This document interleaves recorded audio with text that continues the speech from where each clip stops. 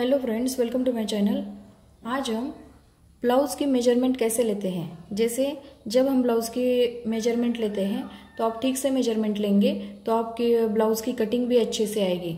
तो ब्लाउज़ की मेज़रमेंट लेके ब्लाउज़ के ऊपर कटिंग कैसे करनी है, ये देखते हैं। तो पहले हम इसकी मेज़रमेंट कैसे लेनी है? जैसे ब्लाउज़ के ऊपर मेज़रमेंट कैसे लेते हैं, ये देखते हैं। तो यहाँ पर हमने ये सिला हुआ ब्लाउज़ लिया है। उसके बाद क्या करना है? जैसे ब्लाउज़ का क्या हो जाता है? ब्लाउज़ की मेज़रमेंट जो है, वो कम ज़्यादा हो जाती है तो आपका ये कटोरी का प्रॉब्लम आ जाता है, या फिटिंग का प्रॉब्लम आ जाता है, या लंबाई कम ज़्यादा हो जाती है। नहीं तो यहाँ पे भी आपका जो नए नए सिलने वाले होते हैं, यहाँ पे भी फिटिंग में प्रॉब्लम आ जाता है, यहाँ पे भी कम ज़्यादा हो जाता है। तो आप ठीक से मेज़रमेंट करोगे तो ये प्रॉब्लम आपका क्लियर हो जाएगा। तो यहाँ पे हमें क्या करना है? जैसे जब भी हम मेज़रमेंट करते हैं ब्लाउज़ की मेज़रमेंट करते हैं तो इससे पहले हमें पीछे से लंबाई लेनी है। जब भी हम ब्लाउज़ की लंबाई नापते हैं तो हमें ब्लाउज़ की लंबाई जो है, पीछे बैक साइड जो है बैक साइड से हमें लंबाई नापनी है। तो पहले हम इसकी लंबाई लेते हैं।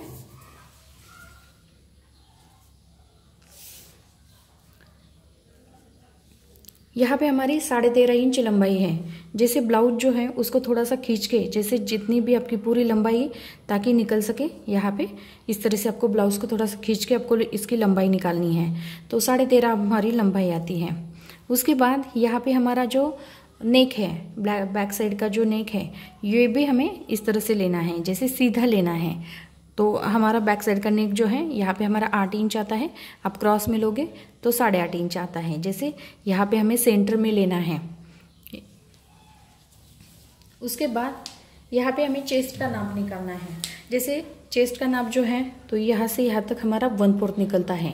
फिर यहाँ पे हमारा जो है, ये हाफ़ जैसे यहाँ से यहाँ तक निकलो करोगे मेजर तो ये हमारा हाफ़ चेस्ट का हाफ़ निकलता है। और इसका डबल करोगे तो ये पूरा चेस्ट का हमारा नाप निकलता है। लेकिन सिंपल मेथड से आप जब ब्लाउज़ की मेज़रमेंट करोगे तो यहाँ पे आपको चेस्ट का वन फोर्थ लेना है, ताकि ये हमें जल्दी समझ में भी आता है और अच्छे से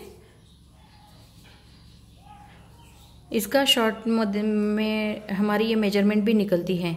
जैसे यहाँ पे हमें साढ़े दस इंच यहाँ पे ब्लाउज़ की मेज़रमेंट आती है हमारी चेस्ट का वन फोर्थ है हमारा, साढ़े दस इंच तो इसके आगे आपको दो या डेढ़ इंच लेना है। जितना आपका सिलाई में जैसे नए नए नए सिलने वाले होते तो उनको सिलाई में ज़्यादा जाता है तो आपको दो इंच लेना है। जैसे आप करते हैं सिलाई का, काम करते हैं तो आप डेढ़ इंच लेंगे तो भी चलता है। क्योंकि क्या होता है जो नए सिलने वाले होते हैं, उनसे कम ज़्यादा हो जाता है या सिलाई में ज़्यादा, जैसे यहाँ पे हम कटोरी ज्वाइंट करते हैं स्लीव ज्वाइंट करते हैं, यहाँ पे सिलाई में ज़्यादा जाता है तो वो फिटिंग में प्रॉब्लम आ जाता है। तो वहाँ पे आप दो इंच लेंगे तो चलता है। लेकिन जो लोग सिलते हैं, उनको पहले से सिलाई का काम आता है, वो डेढ़ इंच लेंगे तो भी ये चलता है। तो यहाँ पे आपको डेढ़ साढ़े दस इंच चेस्ट का वन फोर्थ निकलता है हमारा, साढ़े दस इंच उसके बाद यहाँ पे हमारा फ्रंट साइड का जो गला है, वो लेना है। तो फ्रंट साइड का जो गला है, वो है हमारा चेंज। यहाँ पे आपको सीधा लेना है, नहीं तो क्रॉस में लेंगे तो ये साढ़े छः इंच आता है। उसके बाद ये जो कटोरी का नाप है तो ये कटोरी का नाप लेना है। यहाँ पे हमें जो कटोरी ज्वाइन की है, यहाँ पे तो ये जो कटोरी का नाप है, इस तरह से लेते हैं। ये आता है हमारा साढ़े छः इंच कटोरी का नाप आता है हमारा साढ़े छः इंच। तो यहाँ पे हमें क्या करना है? जैसे ये जो शोल्डर है, शोल्डर शोल्डर को आपको अच्छे से रखना है। जैसे जो गला होता है हमारा, इस तरह से आपको सीधा राउंड शेप में आपको इसको रखना है और हमें शोल्डर का नाप लेना है। शोल्डर का नाप आता है हमारा साढ़े ग्यारह इंच। यहाँ पे हमारा शोल्डर का नाप आता है साढ़े ग्यारह इंच। उसके बाद यहाँ पे जो बॉटम स्लीव्स हैं ये जो शोल्डर है हमारी सीधी, शोल्डर जो ज्वाइन किया है, वहाँ से हमें सीधा स्लीव्स का नाप लेना है। ये आता है हमारा पौने पाँच इंच। उसके बाद हमें ये जो बॉटम है स्लीव्स का जो बॉटम है, वो लेना है। ये है हमारा साढ़े छः इंच।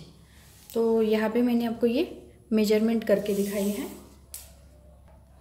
यहाँ पे आपको लंबाई चेस्ट शोल्डर फ्रंट और बैक साइड का नेक, यहाँ पे कटोरी का नाप और ये जो है, यहाँ पे स्लीव्स की लंबाई और स्लीव्स का बॉटम। और यहाँ पे जो आर्महोल लेते हैं, वो चेस्ट के हिसाब से रहता है। ये चेस्ट का नाप भी जैसे जितना होता है, उतना ही आपको लेना है। जितना आपका चेस्ट का ये मेज़रमेंट होती है, उतनी आपको लेनी है। जब हम डायरेक्ट पेपर के ऊपर कट करते हैं। तो यहाँ पे आपको ये भी चेस्ट के हिसाब से रहता है और आर्मोल का जो नाप होता है वो भी चेस्ट के हिसाब से रहता है। और फिटिंग जो है तो इसके ऊपर ही हमें फिटिंग, जैसे ब्लाउज के ऊपर ही हमें फिटिंग करनी पड़ती है। नेक जो है, नेक में आपको आधा इंच बढ़ाना पड़ता है, क्योंकि वो सिलाई में चला जाता है, शोल्डर में अटैच हो जाता है तो हमें आधा इंच नेक में बढ़ाना पड़ता है।